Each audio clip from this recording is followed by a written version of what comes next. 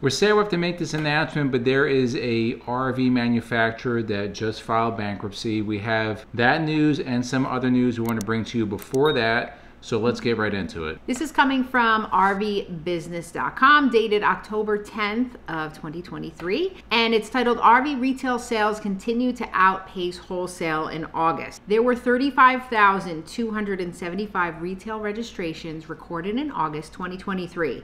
This is 16% less than the 42,106 units that were recorded in the same month one year ago. This is according to Statistical Surveys Incorporated, which is a Grand Rapids, Michigan based company, and they track retail and customer data for the RV, marine, and other industries. Now, when we talk about retail registrations, that's sales. So mm-hmm. we do these every month. We do RVIA shipments, and then we do the statistical surveys retail registrations, which is really the more important part, which is the sales. There have been 288,487 retail registrations. That's through August which is 56,385 units less or 16 percent less than through the first eight months of last year. Now, as we stated a little bit earlier, the wholesale shipments are not keeping pace with the sales. And this is not done by accident.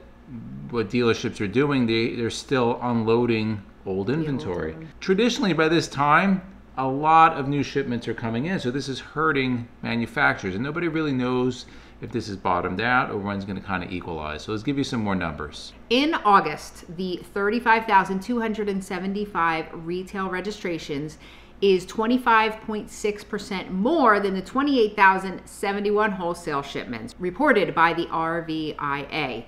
And year to date, the 288,487 retail sales figure is running 35% more than the 213,421 total for wholesale shipments. So let's give you some specific numbers. So we're going to start with travel trailers and towables are the largest portion of RV shipment. 21,016 retail registrations August of 2023. That is down 18.9% versus 22. Fifth wheels 5,543. That's down 13.2% from 2022. Then we have camping trailers. Again, very small. 570, and that is down 17.3% from 2022. You have park models, only 273. That's actually up 15.7% from 2022. Class A's 881. That's down 7.1% from 22. Then we move into the Class C's. You had 1,610 that is down 8.4%. And then moving into the Class B sector, 1,080, and that is down 15.6%. Now, there are more numbers from Canada. We're going to link this actual article down below so you can go and read everything on there. Now, let's move into the second half of the video. So, this is from RVNews.com. Regency RV's parent company, Regency Conversions Incorporated, has filed for Chapter 11 bankruptcy protection. So in the court filing, Regency Conversions said the November 2022 Mercedes Benz recall of its Sprinter vans left Regency unable to fill orders.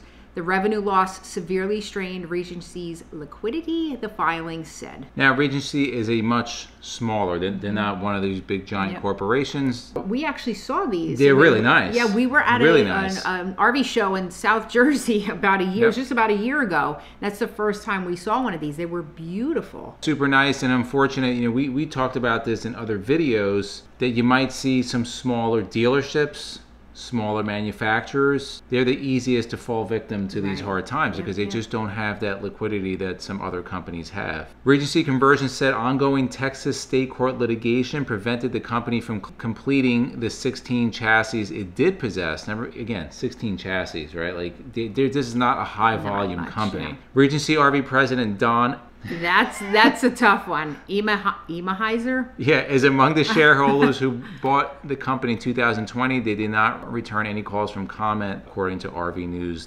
RVNews.com. This is sad. It's I don't sad. like ever seeing a company have to shut down. You know, we've talked about the quality of RVs out there. A lot of, unfortunately, a lot of the the big manufacturers, you know, they have some of their they, they just are lacking in quality. And where you see the better quality tends to be the smaller, mm-hmm. family owned, or, or just small companies and not big corporate companies. And but those are the ones that are really they're they're most open to, to situations and, and economy the way it's going. Right. Put in the comments below, guys, if you've even heard of Regency. Like I said, we hadn't until a year ago until we And ran we're super into- impressed. Yeah, we really liked it. So it's sad sad to hear. Hopefully some of the other smaller ones don't follow the same path. In the comments below, let us know what are your current RV dealerships looking like. From what we're seeing around us, there's just there's plenty of stock. Mm-hmm. There's there's Yeah. still I'm still seeing. I was on Lazydays yesterday in Elkhart on their website. They had a 2022 Entegra. I mean, this thing they are looking to give this thing away. I think it was an Anthem or Aspire. Mm. It's marked like 38% off and still with like